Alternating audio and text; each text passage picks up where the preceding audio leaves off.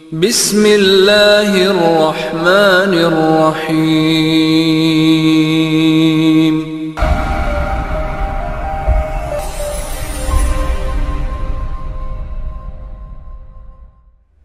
प्यारे दोस्तों, इस बंदाना चीज़ को गुलाम मुस्तफ़ा कहते हैं। उम्मीद है कि सब दोस्त खैरियत से होंगे।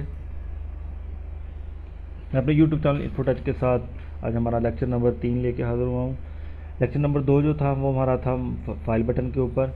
जो दोस्त हमारे साथ नए इस कोर्स में शामिल हैं उनसे रिक्वेस्ट है कि मेरे यूट्यूब चैनल को सब्सक्राइब करना मत भूलिएगा। साथ ही बेल आइकन को प्रेस करें ताकि आपको न्यू आने वाले वीडियो का नोटिफिकेशन आसानी के साथ मिल सके। शुरू करते हैं हम आज अपना लेक्चर जो कि हमारा होगा होम बटन के ऊपर। होम बटन के अंदर जो ऑप्शन है उसमें clipboard font paragraph style editing screen के ऊपर आपको नज़र आ रहा होगा। आज इनके मतलब मैं आपको डिटेल के साथ बताऊँगा। तो चलते हैं स्क्रीन की तरफ़। और नेक्स्ट हम चलते हैं अपने होम टैब होम बटन के अंदर। क्लिपबोर्ड के अंदर आपको नज़र आ रहा होगा paste cut copy format painter मैं आपको इनके मतलब डिटेल बताऊँगा आज। मैंने इधर कुछ डाटा टाइप किया है। This is my YouTube channel info touch सबसे पहले चलते हैं ये कट के ऑप्शन उसके मतलब बताता हूँ मैं आपको। मैं अभी चाहता हूँ कि जो मैंने ये इन्फो टच लिखा हुआ है, ये वाला मेरा जो वर्ल्ड है, ये इसके आगे आ जाए। तो मैं इन्फो टच को सिलेक्ट करूँगा। सिलेक्ट करने के बाद होम टैब के अंदर जाऊँगा और इधर कट के ऊपर क्लिक करूँगा। तो देखें, वो वर्ल्ड जो है क्लिप बोर्ड के ऊपर कट हो गया है। This is my YouTube channel इसके आगे मैं क्लिक करूँगा। क्लिक करने के बाद मैं आऊँगा इधर होम टैब के अंदर पेस्ट के ऊपर। मैंने पेस्ट पे क्लिक किया। तो ये देखें, मेरा इन्फो टच जो है वो इधर वर्ल्ड पेस्ट हो गया है। लेकिन नीचे जो इन्फो टच लिखा हुआ था, वो ख़त्म हो गया है। कट से ये होगा कि अगर आप किसी लफ्ज़ को सिलेक्ट करने के बाद कट करके किसी और जगह पेस्ट करेंगे तो वो दूसरी जगह से कट हो जाएगा, उधर से रिमूव हो जाएगा। अब मैं चाहता हूँ कि जो मेरा जो इन्फो टच का जो वर्ड लिखा हुआ है, मैं इसको नीचे वाली लाइन पे भी कॉपी करना चाहता हूँ। तो इसको मैं सिलेक्ट करूँगा। सिलेक्ट करने के बाद होम टैब के अंदर जाके कॉपी पे क्लिक करूँगा। तो जो मेरे जो मेरे पास इन्फोटच का वर्ड था, वो कॉपी हो गया। है अब मैं नीचे वाली लाइन पे क्लिक करूँगा। नीचे वाली लाइन पे क्लिक करने के बाद दोबारा जाऊँगा होम टैब के अंदर और पेज के ऊपर क्लिक करूँगा। तो देखें मेरे पास जो है वो वर्ल्ड कापी हो गए उधर भी मेरे पास मौजूद है। पहली वाली लाइन में इन्फो टच और नीचे वाली लाइन पे भी कापी हो गया। इधर कुछ टाइप करता हूँ। ये देखिए this is my YouTube channel info touch जो मैंने इन्फो टच का वर्ड लिखा है अपना, ये वाला मैंने इसका कलर भी चेंज कर दिया फॉन्ट भी चेंज कर दिया, ताकि आपको जो फॉर्मेट पेंटर का ऑप्शन है वो आसानी के साथ समझ आ जाए। फॉर्मेट पेंटर का ये है कि ये देखिए, मैं अब चाहता हूँ कि जो इन्फो टच के ऊपर मेरा फाउंट और कलर अप्लाई हुआ है, वही वाला फाउंट और कलर जो मेरा है यूट्यूब लिखा हुआ है, इसके ऊपर भी अप्लाई हो जाए। तो इसके लिए करना क्या है आपको? हम इन्फो टच को जो है वो सिलेक्ट करते हैं। होम टैब के अंदर जाके फॉर्मेट पेंटर जो है, इसके ऊपर क्लिक करते हैं। क्लिक करने के बाद वापस आते हैं अपने डॉक्यूमेंट के ऊपर। तो जो मेरे पास ये देखें, आपको कर्सर के साथ जो है वो एक बुरशा बना हुआ नज़र आ रहा होगा। तो मैं अपने यूट्यूब के ऊपर ऐसे उसको सिलेक्ट करूँगा। तो ये देखें मेरे पास वो this is my YouTube channel जो है यूट्यूब का लिखा हुआ वर्ल्ड है, उसके ऊपर मेरा फ़ॉन्ट और कलर कापी हो गया। ये था हमारा होम टैब के अंदर क्लिप बोर्ड का ग्रुप नेक्स्ट हमारे पास होम टैब या होम बटन के अंदर मौजूद है फ़ॉन्ट नंबर दो पे फ़ॉन्ट का जो है ग्रुप फ़ॉन्ट ग्रुप के अंदर ये फ़ॉन्ट का जो है वो डिज़ाइन वगैरह, इसके साथ साइज़ उसके बाद हमारे पास increase font size decrease font size उसके बाद हमारे पास चेंज केस और उसके बाद हमारे पास clear all formatting bold italic underline उसके बाद हमारे पास है स्ट्राइक थ्रो फिर आता है हमारे पास सब स्क्रिप्ट और उसके बाद आता है सुपर स्क्रिप्ट इसके आगे हमारे पास है टेक्स्ट इफ़ेक्ट ठीक है जी। उसके साथ ही हमारे पास है टेक्स्ट हाईलाइट कलर इसके साथ हमारे पास है फॉन्ट कलर इनके मतलब बताता हूँ मैं आपको। मैं कुछ डॉक्यूमेंट टाइप करता हूँ। This is my YouTube channel info touch मैंने लिखा है इधर। मैं अपने डॉक्यूमेंट को सिलेक्ट करता हूँ। सिलेक्ट करने के बाद फ़ॉन्ट के अंदर आऊँगा तो आप देखें कि हमारे पास फ़ॉन्ट के जो बहुत से स्टाइल आपको नज़र आ रहे होंगे, आपको जो भी स्टाइल देखें इधर, जिस पे भी आ रहा हूँ, इधर फ़ॉन्ट जो है वो चेंज हो रहा है स्टाइल उसका। आपको जो भी फ़ॉन्ट का स्टाइल पसंद हो अच्छा लगे, या आपने जो भी रखना है, या भी जो भी आपकी रिक्वायरमेंट हो तो आप वो फ़ॉन्ट जो है अपना, ठीक है जी, इधर से सिलेक्ट कर सकते हैं। ठीक है जी, उसके साथ मैं अपने डॉक्यूमेंट को फिर सिलेक्ट करता हूँ सेलेक्ट करने के बाद उसके बाद आता हूँ फ़ॉन्ट साइज़ के ऊपर, ठीक है। आप अपने फ़ॉन्ट का साइज़ इधर से कोई भी जितना आप साइज़ रखना चाहते हैं अपने डॉक्यूमेंट का, रख सकते हैं। ठीक है जी। उसके बाद नेक्स्ट हमारे पास है इंक्रीज़ फाउंड साइज़ नंबरिंग के साथ भी चेंज कर सकते हैं और इधर इधर से इंक्रीज़ करना चाहें तो इधर से भी कर सकते हैं। इस पर क्लिक करते हैं, देखें हमारा फ़ॉन्ट साइज़ जो है वो इंक्रीज़ हो रहा है। ठीक है जी। अगर डिक्रीज साइज़ को करना चाहते हैं तो इसके साथ मौजूद है डिक्रीज फ़ॉन्ट साइज़ इस पर क्लिक करते जाएँगे तो हमारा जो फ़ॉन्ट साइज़ है वो डिक्रीज होता जाएगा। आपको स्क्रीन स्क्रीन के ऊपर नज़र आ रहा होगा। इसके साथ है जी चेंज केस चेंज केस के अंदर सबसे पहले लोअर केस फिर upper case capital each word और टोगल केस लोअर केस में ये है कि अगर हम इस पर क्लिक करूँगा तो ये देखें मेरे पास जितना भी जो है वो मेरा टेक्स्ट लिखा हुआ है, वो सब स्मॉल जो है अल्फ़ाबेट के अंदर आ गया है। नेक्स्ट हमारे पास है अपर केस अगर मैं अपर केस पे क्लिक करता हूँ तो मेरे पास जितना भी मेरा जो है टेक्स्ट लिखा हुआ सारा अपर केस यानी कि बड़े हरूफ अल्फ़ाबेट्स में शो होगा। इसके नीचे है कैपिटल ईच वर्ड अगर कैपिटल ईच वर्ड के ऊपर मैं क्लिक करता हूँ तो मेरे डॉक्यूमेंट का जो जितने भी ये वर्ड लिखे हुए हैं इनका जो फ़र्स्ट वाला अल्फ़ाबेट होगा वो जो है वो बड़ा हो जाएगा। ठीक है जी? अपर केस के अंदर शो होगा। इसके साथ नीचे है जी टोगल केस। टोगल केस पे क्लिक करूँगा तो देखें, मेरे डॉक्यूमेंट के अंदर जितने भी वर्ड हैं वर्ल्ड के वर्ल्ड का जो सबसे फ़र्स्ट वाला होगा वो स्मॉल लेटर के अंदर शो होगा और बाकी जो है वो अपर केस के अंदर शो होगा। इसके साथ हमारे पास है नीचे बोल्ड नज़र आ रहा होगा। बोल्ड पे क्लिक करें तो मेरे जो डॉक्यूमेंट हैं वो बोल्ड यानी कि जो हरूफ हैं वो वर्ल्ड जो है वो मोटे हो जाएँगे। ठीक है जी? इससे आगे अटैलिक अटैलिक पे क्लिक करूँ तो मेरे जो है वो फाउंट जो है वो अटैलिक शेप में आ जाएँगे। इसके साथ है यू लिखा हुआ आपको नज़र आ रहा होगा अंडरलाइन इस पर क्लिक करता हूँ तो जो मेरे डॉक्यूमेंट है, इसके अंदर नीचे जो है वो एक लाइन आपको शो हो जाएगी इसको अंडरलाइन बोलते हैं आपको स्क्रीन के ऊपर. ये देखें मैं वादा कर देता हूँ, ये देखें स्क्रीन के नीचे आपको अंडरलाइन नज़र आ रहा होगा. इससे आगे है स्ट्राइक थ्रो स्ट्राइक थ्रो पे क्लिक करता हूँ तो मेरे डॉक्यूमेंट जो कि वर्ल्ड हैं, इनके सेंटर में एक लाइन नज़र आपको लगी हुई नज़र आ रही होगी स्क्रीन के ऊपर. ये देखें वर्ड के अंदर जो है वो वर्ड्स के अंदर जो है वो लाइन एक ड्रा हो जाएगी।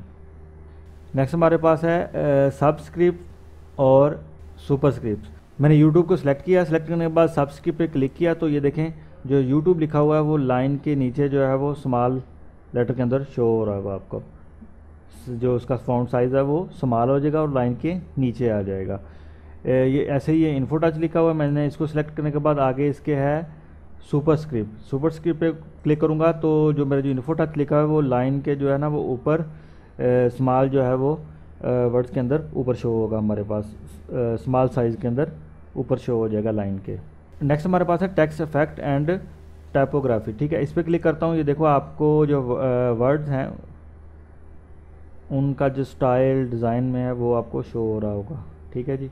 आप इधर से जो भी रखना चाहें, ये देखें मैंने इस पर सेलेक्ट किया तो मेरे पास ये डिज़ाइन वर्ड्स का आ गया। इससे आगे है हमारे पास टेक्स्ट हाईलाइट कलर। इसमें ये कलर मौजूद हैं, ये देखें। इसमें जो टेक्स्ट का बैकग्राउंड होगा ना, वो उसका कलर चेंज होगा। देखो मैंने येलो पे क्लिक किया तो देखें, बैक पे येलो आ गया। इस इससे नेक्स्ट हमारे पास है फ़ॉन्ट कलर। फ़ॉन्ट कलर के अंदर ये देखें कलर मौजूद हैं। इसके अंदर जो है, जो हमारा फ़ॉन्ट है ना, इसका कलर चेंज होगा। देखिए, जो बैक हमारी थी, वो थी येलो और नेक्स्ट मैंने ये ब्लू पे क्लिक किया तो देखें ब्लू हो गई। ऑरेंज जिस भी बैक क्लिक करेंगे तो वो कलर अप्लाई हो जाएगा।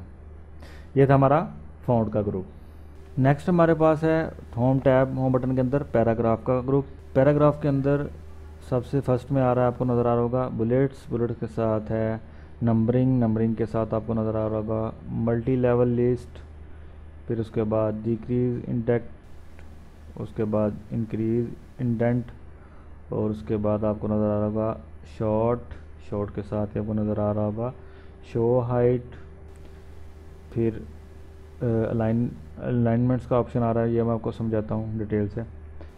तो मैंने इधर ये सुपर स्टोर के अंदर जो कुछ आइटम होते हैं, उनके बारे में लिखा है। देखिए rice oil green tea toothbrush अब मैं चाहता हूँ कि इनके साथ जो है नंबरिंग आए या कोई बुलेट्स वगैरह, वो डिज़ाइन वगैरह वो साथ शो हो ताकि वो ये अलग अलग नज़र आएँ।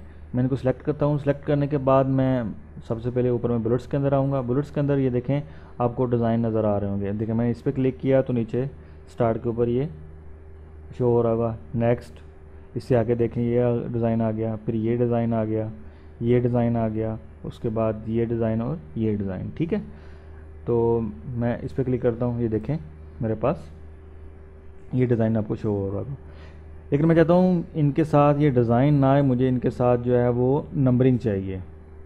तो मैं दोबारा से डाटा को टाइप करता हूँ। टाइप करने के बाद मैं इनको सेलेक्ट करूँगा अपने डाटा को और उससे आ गया नंबरिंग का ऑप्शन उसके ऊपर ये देखें मैं नंबरिंग के ऊपर वन टू के ऊपर क्लिक करूँगा तो ये देखें वन टू थ्री फोर ठीक है जी। इसके साथ ये वाला जो नंबरिंग थी, ये one dot rice two dot two dot oil ऐसे शो हो रहा था। नेक्स्ट जो हमारे पास वन नंबरिंग नज़र आ रही है, वह ब्रैकेट के साथ। वन ब्रैकेट क्लोज राइस ये देखें ऐसे लिखा हुआ नज़र आ रहा है। ये ये रोमन के अंदर भी मौजूद है। अल्फ़ाबेट ए बी सी बड़ी ए बी सी छोटी ए बी सी इसके भी मौजूद है। आप कोई भी इधर से जो है वो अपना मर्ज़ी से चूज़ कर सकते हैं। ये देखें, मेरे पास ये डाटा लिखा हुआ मेरा मार्जिन जो है वो, ये देखें मार्जिन मेरा इधर है। तो ये मैं चाहता हूँ कि मैं जो है ना, इसको अपने डाटे को जो है वो मार्जिन के जो, जहाँ से मेरा मार्जिन स्टार्ट हो रहा है, वहाँ से ये लिखना शुरू हो, या टाइप मैं उधर से स्टार्ट करूँ। तो देखिए मैं इस पर क्लिक करूँगा तो मुझे अलग अलग फ़ाइल को जो बैक जाने के लिए बहुत टाइम लगेगा। तो मैं चाहता हूँ कि मैं एक साथ इसको करूँ तो इसको सिलेक्ट करने के बाद मैं ये डिक्रीज इंडेंट पे आऊँगा तो क्लिक करूँगा। ये देखिए, एक साथ ही वो मेरा जो टेक्स्ट लिखा हुआ था वो मार्जिन के स्टार्ट से शुरू हो गया। नेक्स्ट इसके साथ है decrease sorry increase indent increase indent पे क्लिक करता हूँ तो ये देखें मैं इस पर क्लिक करता हूँ तो ये एक स्टेप जो है वो मेरा मार्जिन से आगे इसको मैं क्लिक कर दूँगा। ये और एक स्टेप आगे स्पेस के साथ बराबर एक साथ जो है वो नेक्स्ट चला जाएगा। नेक्स्ट हमारे पास जो है वो है शो हाइड ठीक है? मैं डॉक्यूमेंट सेलेक्ट करने के बाद इधर शो हाइड पे क्लिक करूँगा तो ये देखें मेरे पास जो है जहाँ भी मेरा वर्ल्ड क्लोज हो रहा है, उसके आगे ये शो हाइड का जो है वो साइन नज़र आ रहा है आपको। ये जो है स्पेशली जो है एडवांस लेयर टास्क के लिए इस्तेमाल होता है।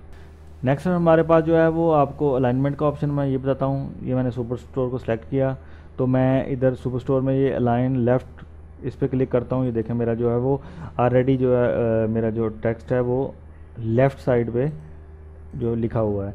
इससे आगे नेक्स्ट है सेंटर अगर मैं इस पर क्लिक करता हूँ तो जो मेरा डॉक्यूमेंट है वो पेज के सेंटर में जो वर्ड मेरा टाइप होंगे, वो सेंटर में पेज के सेंटर से स्टार्ट होंगे पेज के सेंटर में आपको शो होंगे। ठीक है?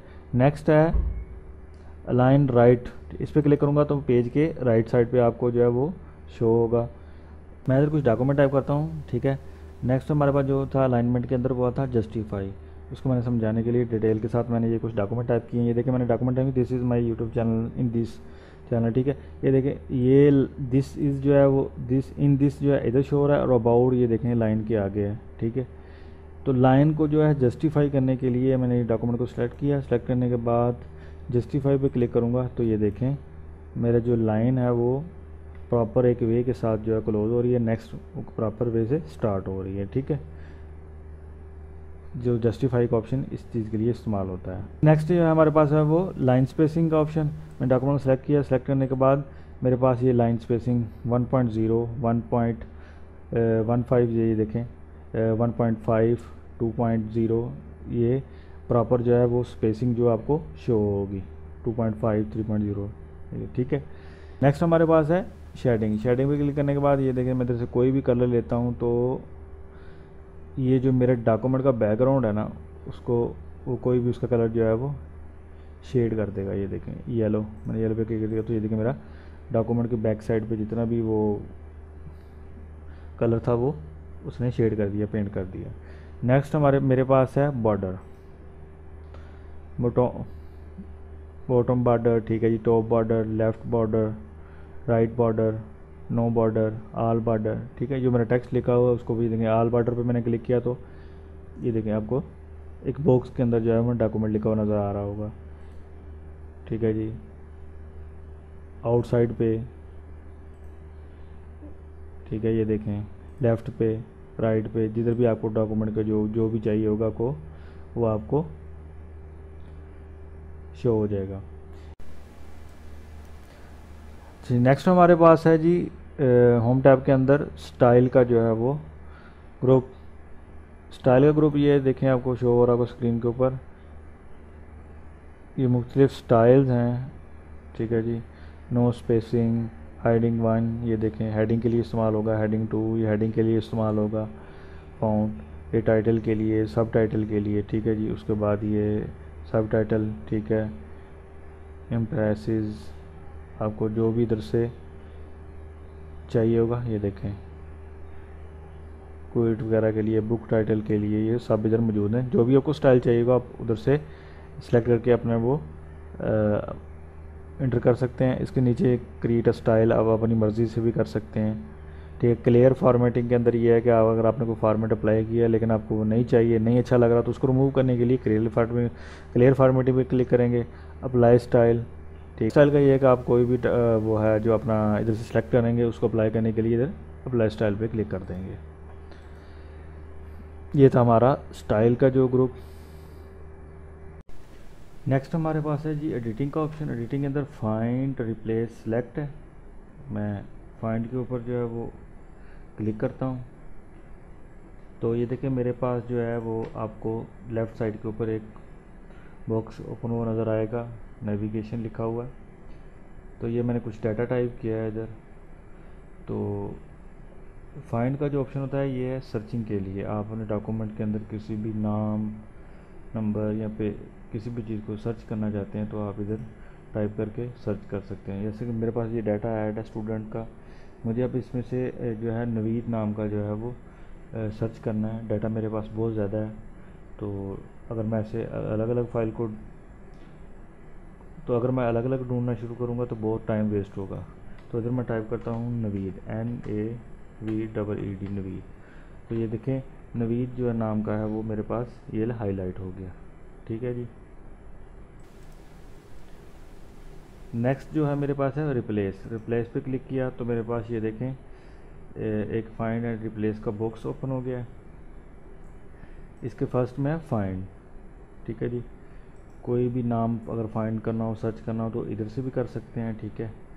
ये देखिए मैंने लिखा हुआ है नवीद, मैं फाइंड नेक्स्ट करूँगा तो ये देखिए नवीद वाला जो है वो हाईलाइट हो गया है, ठीक है? इसके आगे रिप्लेस रिप्लेस में ये है कि मैंने जल्दी में, के अंदर जो है अपना डाटा टाइप किया है और इसके अंदर देखूँगा मैं ये हमज़ा नाम लिखा हुआ है। ये मुझे हमज़ा नहीं, इधर जो अली नाम चाहिए था तो मैं इधर हमज़ा लिखूँगा H A M Z A Hamza ठीक है? मुझे इस जगह पे अली चाहिए तो मैं ए एल आई अली लिखूँगा और रिप्लेस आल पे क्लिक करूँगा। तो ये देखें स्क्रीन के ऊपर नज़र आ रहा होगा जो मेरा दो नंबर पे नाम था हमज़ा वो अली में रिप्लेस हो गया। इसके नेक्स्ट आगे है गो टू गो टू के अंदर ये देखें page section line bookmark comment footnote ठीक है जी endnote field table graphic equation object heading आप इनमें से किसी चीज़ को भी डायरेक्ट जो है वो फाइंड कर सकते हैं, ठीक है? पेज पे पेज नंबर देंगे तो हमारे पास वो पेज ओपन हो जाएगा। नेक्स्ट मेरे पास है इसमें नेक्स्ट इसमें है सिलेक्ट ठीक है जी? सिलेक्ट आल सिलेक्ट ऑब्जेक्ट ठीक है जी? और select pane selection panel select all text with similar formatting no data ठीक है जी, इसमें इनका डाटा नहीं है अभी, वो वाला। तो सिलेक्ट आल पे मैं क्लिक करता हूँ तो मेरे पास जितना भी मेरे पेज के ऊपर डाटा होगा, वो सारा का सारा सिलेक्ट हो जाएगा, ठीक है जी। उसके बाद इसके नीचे है सिलेक्ट ऑब्जेक्ट मैं सिलेक्ट सिलेक्ट ऑब्जेक्ट पे क्लिक करूँगा तो मेरे पास जो ऑब्जेक्ट है वो सिलेक्ट हो गया, ठीक है। सिलेक्शन के अंदर आऊँगा सिलेक्शन पैनल इसके नीचे है, उस पर क्लिक करूँगा। तो ये देखिए मेरे पास शो हो रहा है कि मैंने जो ऑब्जेक्ट सेलेक्ट किया है वो, ये पिक्चर वन जो है सिलेक्ट की है। इसके आगे आप अगर फ़र्ज़ करें, आपको फ़र्ज़ी पिक्चर दे रहे हैं अपनी आसानी के लिए तो आप उस पिक्चर को हाइड भी कर सकते हैं और इधर से शो भी कर सकते हैं। तो ये था हमारा एडिटिंग का ऑप्शन उम्मीद करता हूँ आपको आज होम टैब या होम बटन है उसके मतलब डिटेल जो है वो आसानी के साथ समझ आ गई होगी। तो प्लीज़ वीडियो को लाइक ज़रूर किया करें और अपने दोस्तों के साथ ज़रूर शेयर करें ताकि वो भी माइक्रोसॉफ्ट वर्ल्ड को सीख सकें। नेक्स्ट जो हमारा टॉपिक होगा वो होगा इंसर्ट टैब के ऊपर। तो तब तक अपना ख्याल रखिएगा। मिलते हैं नेक्स्ट लेक्चर के साथ। तब